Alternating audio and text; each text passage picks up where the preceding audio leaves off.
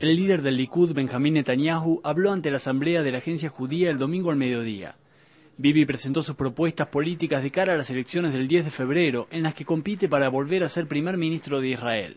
Habló de la economía y de mejorar la educación, pero la nota destacada fue su planteo respecto a las negociaciones de paz.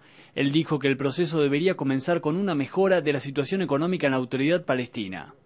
Israel is uh, committed to peace. This is not what divides us. This is a unified aspiration of Jewish history and Jewish life. First of all, it's a sanctity of life. Second, it's a value unto itself. The question that divides us is not the quest for peace, not the target of achieving peace, but how to best do it. And I think we need a new approach because the other one that we've tried in the last 13 years has not really produced the results. We don't have peace around us, but we want to move towards peace. I think that rather than build peace exclusively from the top down with political agreements, we have to add to the political process, building peace from the bottom up by making the lives of our Palestinian neighbors a lot better so that they have a stake in peace. And this is what has been missing. Right now, they have a stake in Hamas, which means a stake in Iran, because their lives are not good.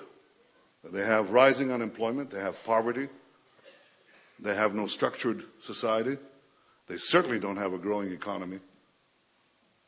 And so individual people, groups of people, uh, are easily swept aside, swept uh, aside and away from peace by the uh, proponents of militant Islam. So we must fundamentally change the lives of our Palestinian neighbors to have them participate in the peace and have a stake in it. Netanyahu dijo, sin embargo, que no habían cambiado sus posiciones respecto a mantener fronteras seguras para Israel, así como su oposición a la división de Jerusalén y al retorno de los refugiados palestinos. En suma, los israelíes decidirán en febrero si y cómo quieren que continúen las negociaciones de paz.